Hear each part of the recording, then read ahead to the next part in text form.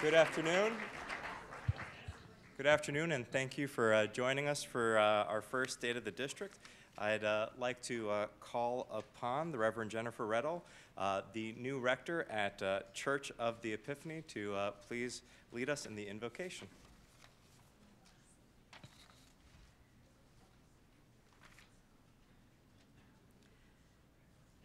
May the Spirit who called us to love our neighbors renew the ties of mutual regard which form our civic life.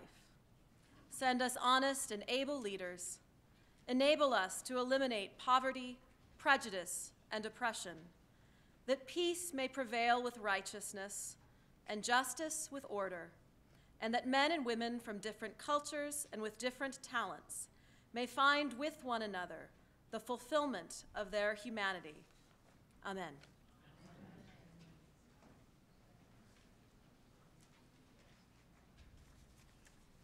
Thank you for that uh, invocation. I'd like to now call upon Talent Unlimited. I have the privilege of representing them at the Julia Richman Education Complex, and uh, they will be leading us in the national anthem.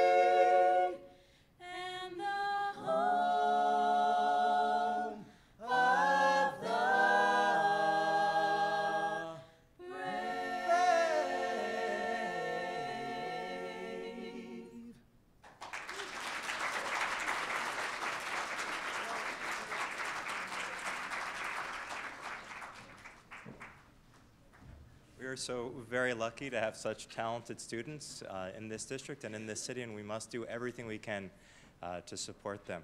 Uh, we are also very lucky to be joined by our uh, Congress member, uh, Carol Maloney. She is our leader on the East Side. Uh, been a pleasure to work with her on so many different things related to our waterfronts and fighting the Marine Transfer Station. Without further ado, I'd like to introduce our uh, Congresswoman Carol Maloney.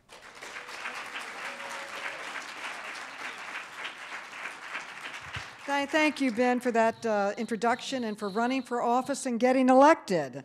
And I, I uh, also want to, to thank uh, the wonderful group that just spoke. Uh, I think it's one of the most uh, beautiful um, examples of the Star Spangled Banner that I've ever heard from Talented Unlimited. Uh, it was original. It was energetic, it was authentic, it was inspiring, it makes you, gives you energy. And it's sort of like i how I feel about Ben.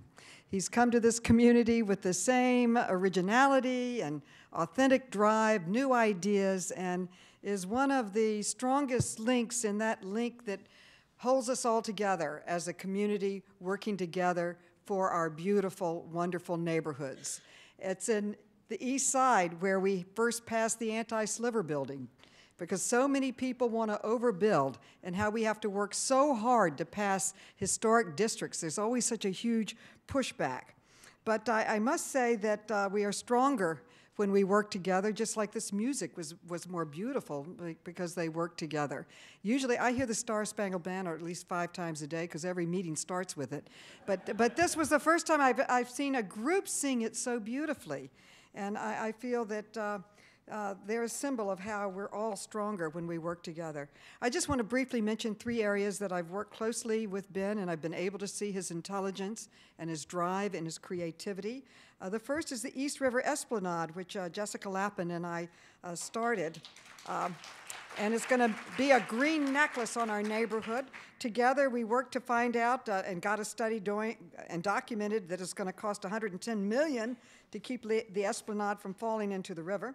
But Ben got the Rockefeller University to agree to invest in the esplanade, and he got the city council to commit to give $35 million. Thank you, Ben. Thank you. And together, he brought uh, new energy and charm and intelligence to our fight in, in fighting the East 91st Street MTS. What a disaster. It is the worst public policy that I have ever seen in my whole life. And it, uh, if we would just continue what we're doing now, we would save hundreds of millions of dollars. So forget every argument. Just on the economy alone or the economics of it, it makes no sense. So if they build this thing, Ben and the community, we will tear it down. Mm-hmm. And, and finally, after, after 9 11, we saw how very valuable using our waterfront is, uh, not only for beauty, but to save lives. Uh, ferry services came in and saved many people, removing them from the disaster. And working with the New York delegation, I was successful in getting over $4 million in federal funding and service to the East River, Brooklyn, and Queens. And I, I'm thrilled that the mayor has just announced three new routes in Ben's district. I'm sure Ben had a lot to do to making that happen, just as he has in so many other ways. And I will want to conclude by saying, with Ben's help, we are going to open the Second Avenue subway in 2016. It's just been planned for 60 years. He gets elected, it gets opened. So I got to say, thank you, Ben. Thank you for allowing me to speak. And I, I want to recognize our wonderful controller, our, and Tish. She's everywhere. I've already seen her at two meetings, uh, our, our wonderful public advocate. And thank the community. I see so many wonderful friends that have given so much to the life, to preserve the life and help people here on the east side. I look forward to meeting all of you at some point. Thank you for being here today, supporting Ben.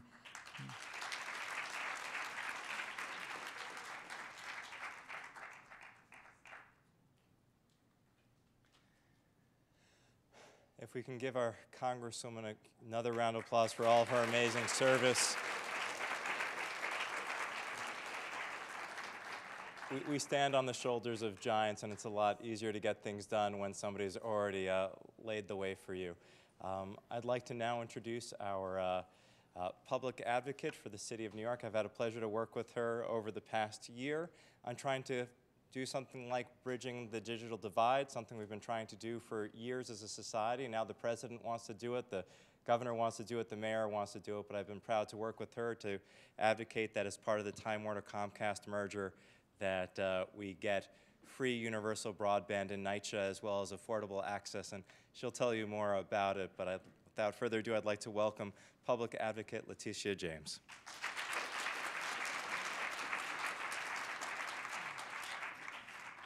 Before I begin my remarks about Councilmember Kallos, let me just say, um, Councilmember Kallos, thank you for having this um, event at Memorial Sloan Kettering uh, Theater or Auditorium. This is the hospital that uh, saved my mother, and I am forever indebted to this hospital and for all of those who are living with cancer and for all of those who are battling cancer. This is a great institution.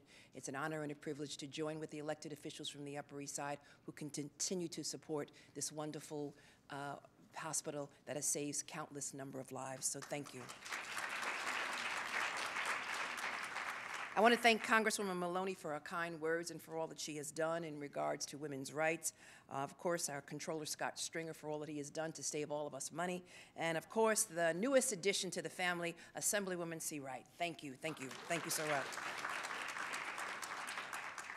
Councilmember Kallos has been a fine addition to the single, to the city council. A dynamic, prolific, and erudite member of the city council who has introduced more pieces of legislation than any other member of the city council. He has joined me in addressing a number of issues in the city of New York, including but not limited uh, to the possible merger of Time Warner and Comcast, making sure that we have net neutrality and making sure that its impact on small businesses is minimal, and making sure that we go, uh, that we address the digital divide which currently exists not only in this city but in this nation. He is a join, he has joined me in addressing the issue of sexual assaults on college campuses all throughout the city of New York, and he has been a progressive voice on issues such as protecting and strengthening rent regulations um, as we go to Albany to ensure that they are protected in, the, in this legislative session. In addition to that, the council member has been a great friend in advocating for more arts and cultural in our public schools, as was evidenced by the wonderful organization that just sang to us uh, just briefly, or just earlier. Um, he has done so much in one year, and I know that he will do more in the year to come. Uh, the best is yet to come for Councilmember Kallos. Thank you for voting my friend into office, and I look forward to working with him in the future. Thank you.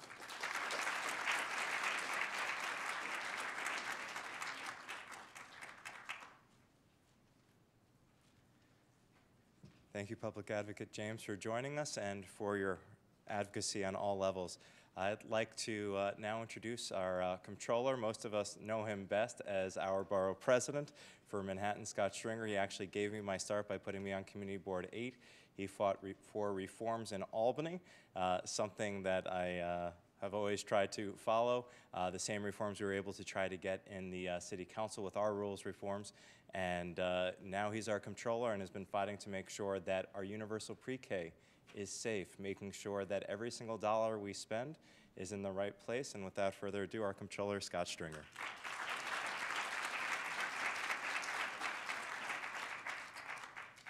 Wow, this is great. I feel like I'm at a CB6 and CB8 meeting. I'm back. It's great to, it's really great to see everybody, and it's always great to follow Congresswoman Maloney, Public Advocate Tish James, and most importantly, I think the reason we're here today is not just to stay, take stock of the council and Councilmember Kallos's role in his first year, but I think it's also a commitment from all the people in this room just how important it is that you come to events like this. Because the truth is, a lot of people either can't come out on a night like day like this or won't. And so the activists here today really reflect the broader community. And I just want to say that I first really got to know Ben Kallos when he would come out at 7 a.m. and campaign for me on 96th Street and Lexington Avenue. Uh, couldn't imagine why this young guy would spend his whole summer doing this. He'd wave to me, I'd wave to him. And uh, of course, you remember when we had community board reform, just because you campaigned for me didn't mean you were going to get on the community board. But it soon became clear that this was a young man who loved public service. He got on the community board, he made a big difference. He worked as chief of staff to Jonathan Bing, one of our most respected elected officials. But what I liked about him is he had his own vision and ideology, and that's what prompts you to run for office. He believes in open government, and he believes in reform and progressive change. And he has pushed buttons in the city council. He has not been one of those members that sits in the back and waits his turn. He has been front and center on issues that I think are very powerful, whether it's merger or thinking about ways we can use data to deliver better services for our constituents. He believes in the waterfront, and he believes in bringing people together. He's a council member, quite frankly, that represents his district very well, but that's only half the job. The other half of the job is can you build broad coalition? Can you think about public policy and link all the neighborhoods together? By any measure, his first year has been that kind of agenda. So I give myself great credit.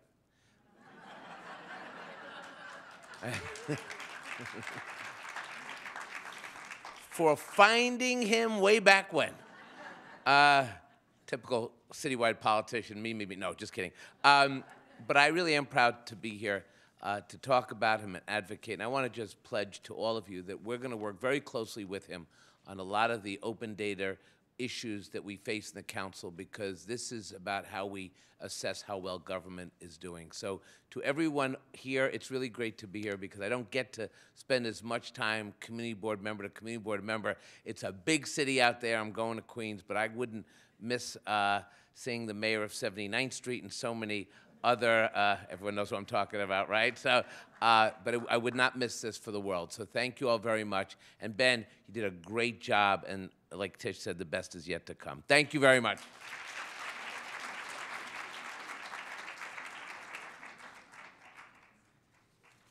like to make sure we acknowledge our new member of the team, our Assembly member uh, Rebecca Seawright, uh, who joined us today and uh, also helped invite a lot of the uh, citywide elected officials that we saw here today. So uh, let's give one more round of applause to uh, Scott Stringer for uh, all of his great service as controller, as well as, uh, in all honesty, giving me my, my start. So thank you. Um, I'd like to now call on a uh, constituent I have gotten to know over the past couple of months. Um, you all may remember the inauguration. I committed to the arts. Uh, we, we actually had a dance number, but the stage uh, couldn't accommodate the ballet this time.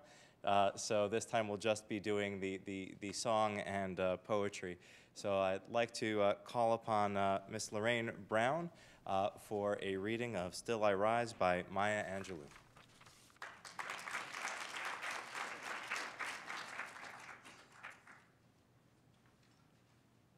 Well, thank, thank goodness he didn't ask me to do the dance number.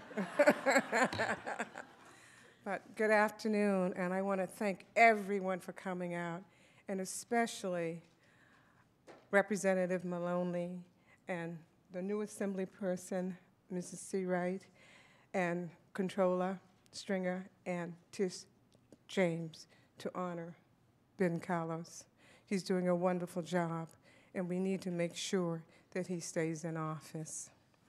I am honored and privileged that Councilmember Carlos, whom I admire and respect because he lives his truth and his values, and he has the values of a statesman and not a politician.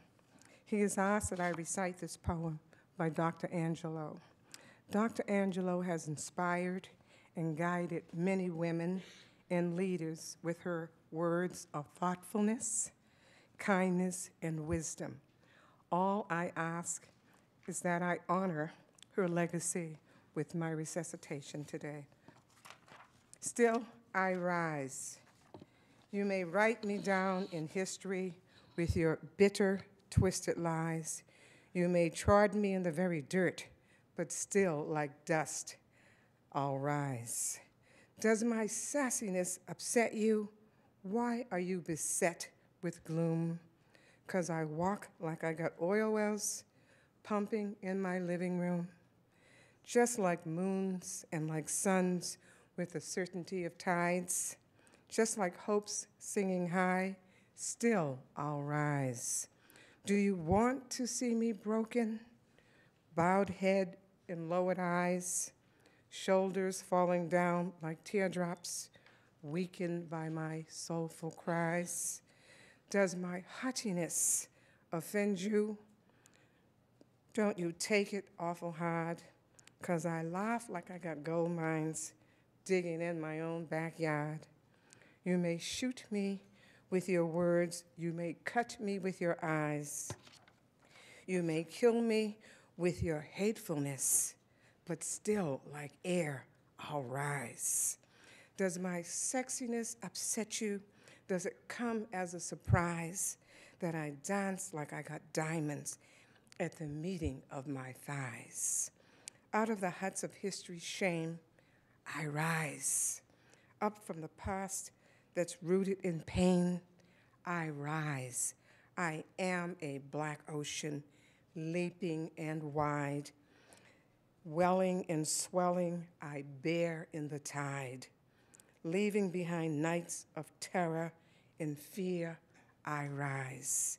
Into a daybreak that's wondrously clear, I rise, bringing the gifts that my ancestors gave. I am the dream and the hope of the slave. I rise, I rise, I rise. Thank you.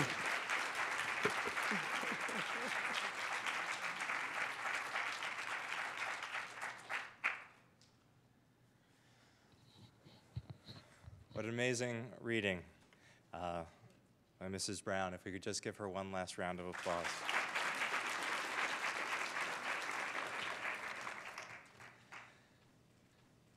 Good afternoon. You all know me better than that one more time. Good afternoon. That's more like it. Thank you to this afternoon's program participants and to my staff, interns, and volunteers, without which today would not have been possible.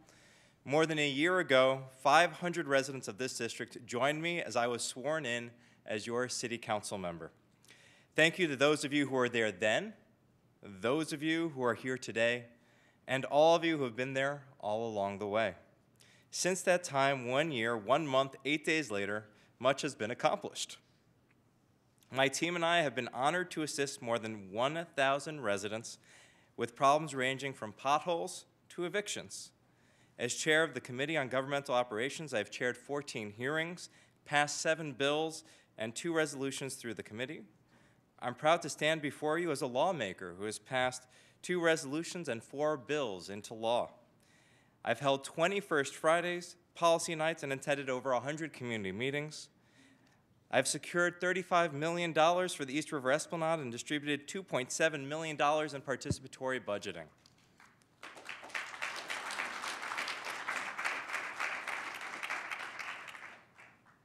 With two years, 10 months, 19 days, 10 hours, 30 minutes, and roughly 40 seconds left, we've got so much more to get done and precious little time.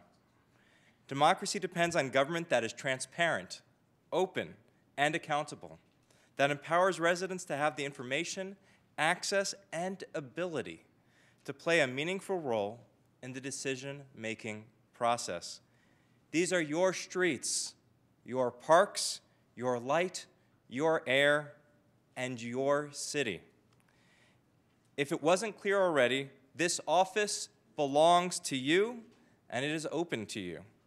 On the first Friday of every month from 8 a.m. to 10 a.m., residents are welcome to join me in the office to discuss issues that matter to them. Attendance varies from a high of 50 to an average of 10 or 20, but I hold them each month because of how important it is to open government to provide a chance for residents to meet me face to face. Democracy only works with your participation. Thank you to residents like Mel Lyman, Elsbeth Ryman, and Carol Hughes, who have been there each month and inspire me to keep going. For those who join us at First Fridays, you may know that if anyone has a good idea for policy or legislation, they get invited to policy nights to mobilize people who want to create change. With such precious little time to get so much done, the only way to get more done than I otherwise could alone is to empower residents with the tools and support they need from my office to help advocate for and set policy. Miss Lorraine Brown, who did a beautiful reading of Still I Rise, has been working with me to close the digital divide in public housing, a project that came from Policy Night. Miss Myrna LeBeau, concerned for mental health of public school students following acts of violence in schools, far too many to name, advocated for more school counselors, and I was proud to sponsor legislation that became law requiring reporting by the Department of Education. I've hosted monthly forums on topics from safer streets to emergency preparedness so you can speak directly to city agencies. But opening my office wasn't enough. I've decided to be even more proactive to come to you. I launched a mobile office where my social work team goes into the community with hours at Stanley Isaacs and Holmes Towers, Robbins Plaza and Lenox Hill, and Roosevelt Island. If you know of a community that needs my help with a location to host us, please let me know so we can expand our services. And in order to make it even easier, I launched Ben in Your Building, where I'll come to your home if you can organize 10 neighbors uh, whenever is most convenient to you.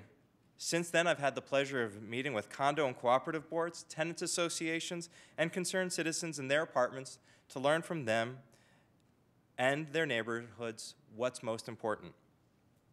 I've also decided to give you $1 million through participatory budgeting, which allows you to propose projects and vote directly on how your tax dollars get spent. Last year, the community voted to bring us bus countdown clocks to the downtown, M31, and crosstown buses, and improvements to NYCHA, including accessibility, new appliances, gardens, and security. Most people do not know what a council member does. Uh, some council members don't even know what council members do. So I started an education campaign, visiting street fairs in the district to talk to you about how my office can help. Through outreach like this, I've been able to discuss with you many of the issues of importance to you and your families. Issues that I plan to address today, like the Marine Transfer Station, open spaces, safer streets, education, affordable housing, and sustainable development. The top issue in the district remains the ill conceived Marine Transfer Station, a garbage dump in a residential neighborhood. I grew up across the street from it when it was active, have been a member of Asphalt Green, and ran for office in large part so I could help fight it. In my first months in office, I worked with Pledge to Protect, who tabled outside the event today, so thank you for that, to reframe the narrative.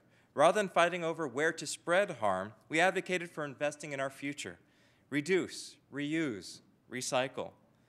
According to Pledge to Protect, Talking Trash Report, we have 22,056 residents, 1,059 children, 6,755 minority residents, 1,173 units of public housing, and six schools near this one station, more than all six other stations combined. If the Sandy flooding of the FDR wasn't enough, we showed that the station was being built in a floodplain.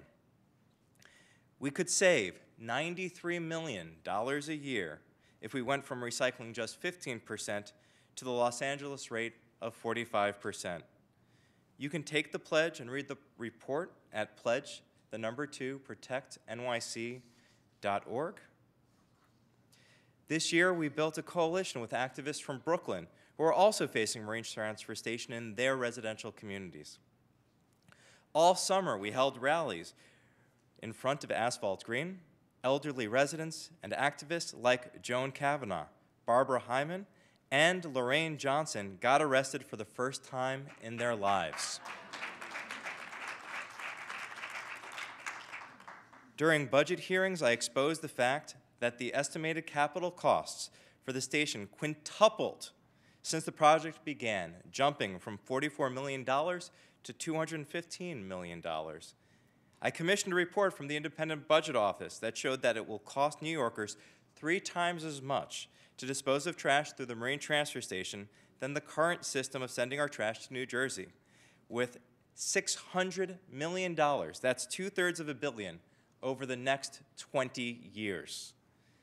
I've used this information to call on the administration to stop this Marine Transfer Station for the good of all New Yorkers. I support the proposal to move the ramp away from the center of Asphalt Greens Fields, but I remain ever vigilant and hopeful that logic, reason, and fact will win over politics and that the dump can finally be stopped.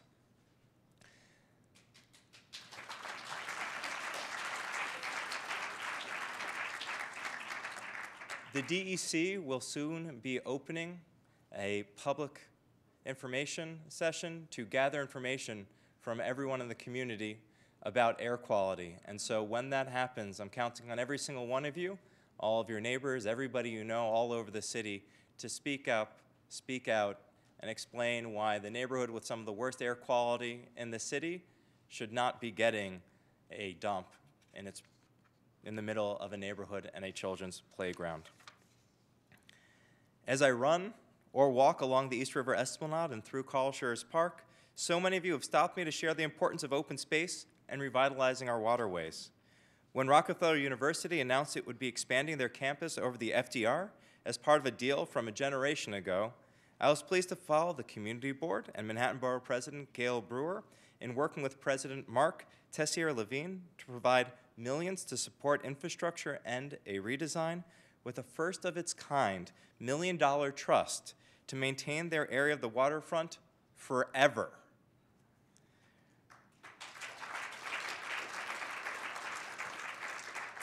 Rockefeller University, through Vice President Tim O'Connor, will be representing hospitals and research universities along the Esplanade on the board of Friends of the East River Esplanade, a nonprofit that I have designated as the conservancy to be the caretaker to our waterfront. Thank you to its founder and leader, Jennifer Ratner, as well as other volunteers for tabling today and your ongoing service.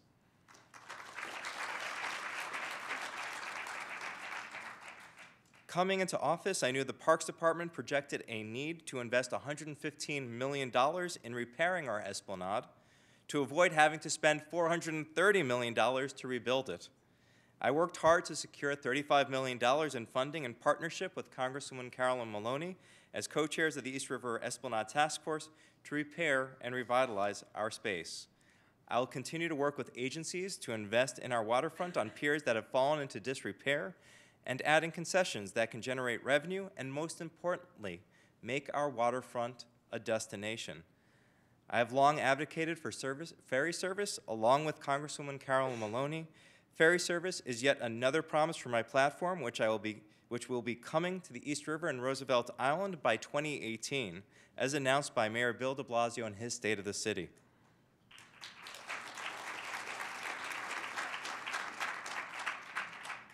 We are taking back our waterfront so that it can become a center of transportation, commerce, and recreation once again.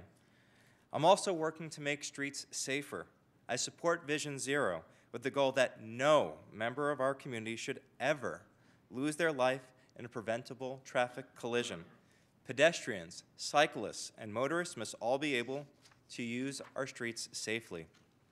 I used my first newsletter to ask 60,000 residents to share their knowledge of the most dangerous intersections and desired street fixes and improvements.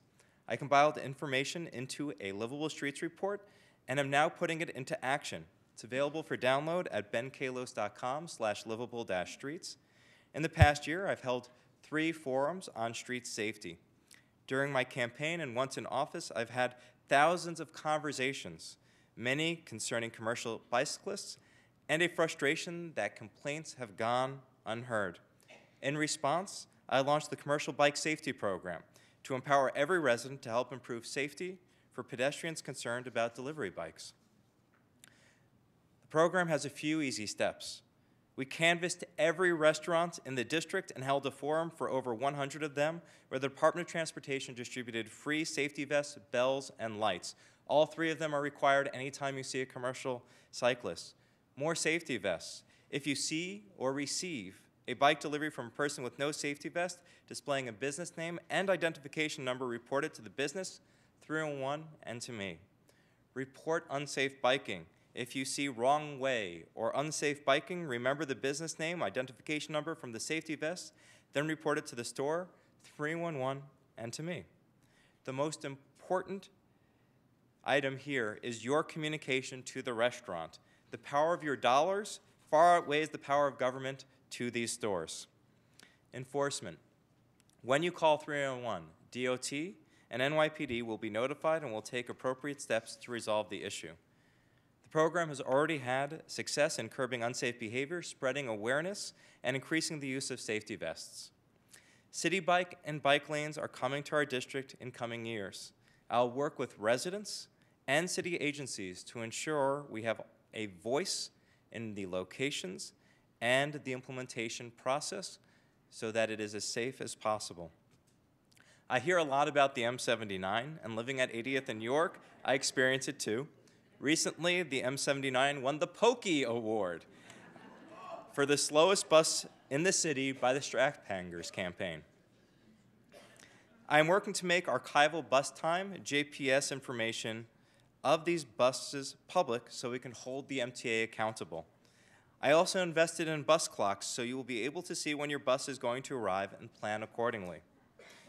We've all suffered through the construction of the Second Avenue subway, and I've done my best to support businesses along the corridor through advocacy for funding in the budget to support, as well as supporting them with my own dollars. If you're going out for a meal or ordering in, please shop Second Avenue. I'm proud to announce the Second Avenue subway is on track for completion on December 31st, 2016.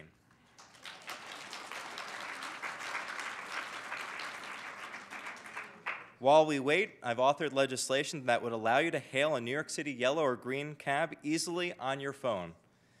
Since I proposed it, the idea has become so popular that the cities of Los Angeles and Chicago have already adopted it. I look forward to making it easier for everyone to hail a cab on their phone and get where they're going fast. You are my ears, you are my eyes, and we can only improve transportation if we work together. So please tell me locations that need improvements, and again, visit benkallos.com slash livable streets, or just give me a call. We have some of the best schools in the city, and as a graduate of the Bronx High School of Science, I am committed to a world-class public education.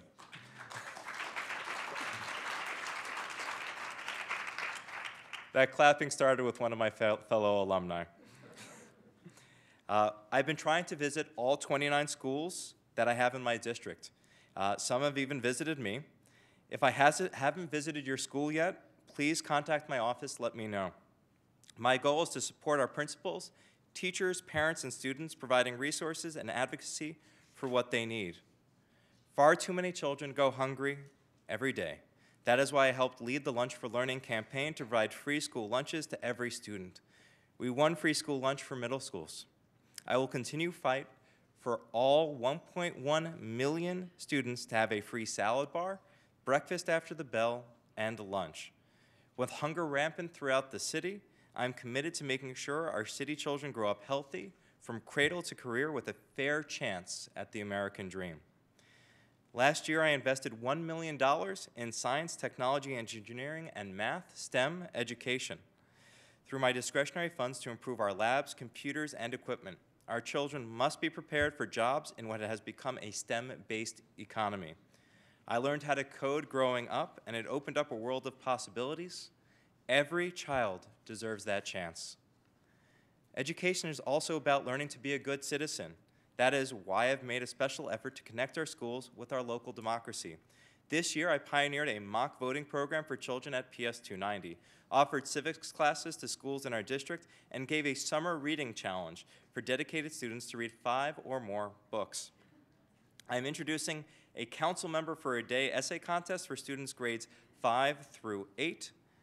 My young adult voter registration bill would guarantee that high school seniors get voter registration forms in their classrooms and at graduation and encourage them to register. But as they get older, students are being crushed under a mountain of debt. During my campaign, the New York Times endorsed my plan to create free CUNY right here in New York City.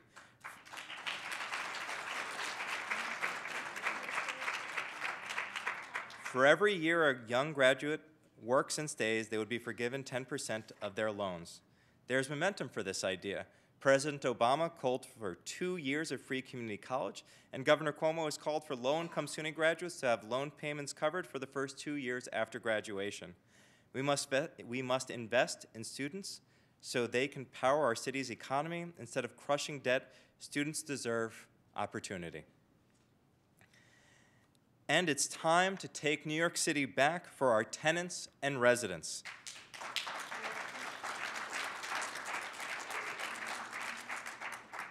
What if finding an affordable apartment wasn't impossible? What if rents didn't skyrocket, skyrocket every year? What if our seniors and our disabled residents didn't have to choose between medication and paying rent?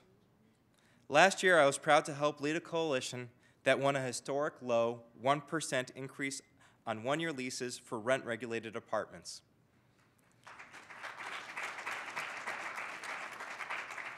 I will keep fighting for a rent freeze in 2015.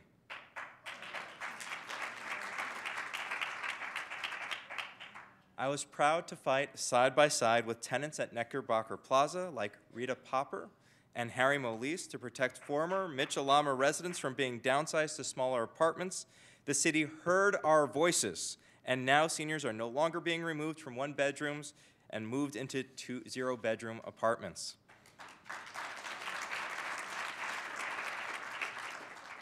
Recently, I introduced a bill to protect tenants from being placed on a blacklist simply for being named in a housing court proceeding. And last year, the City Council successfully raised the maximum income for residents receiving senior citizen rent increase exemptions and disabled rent increase exemptions. And we must continue to develop responsibly once the Second Avenue subway is built. Any new building must contain affordable units.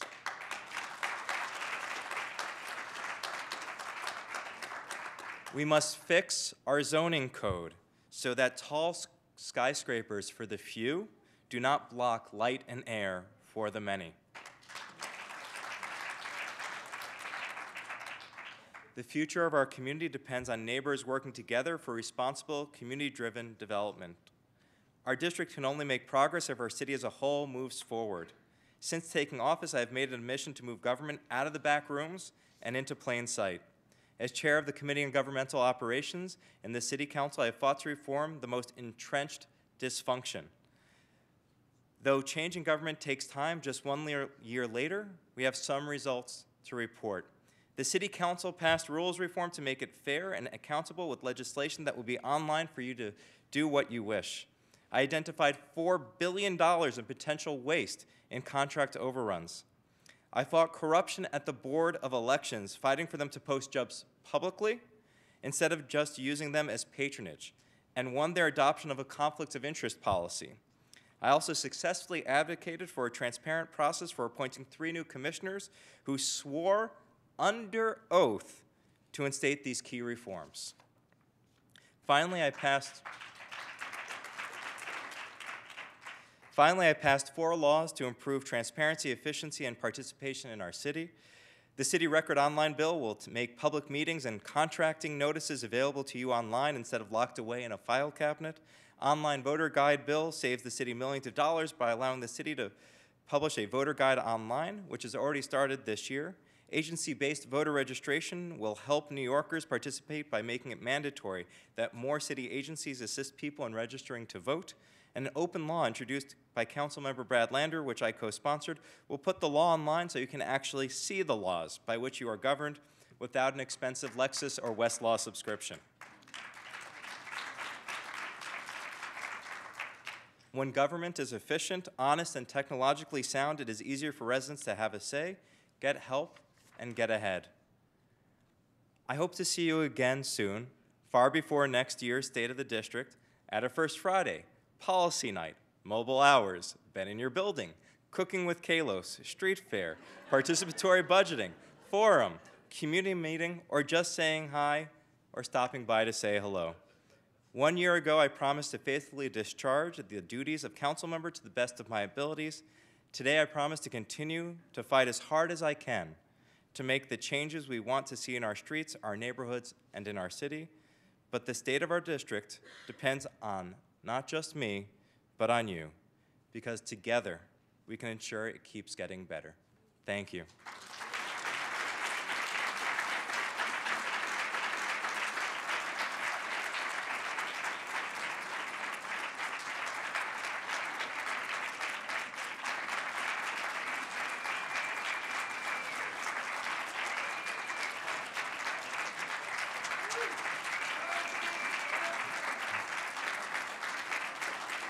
Thank you.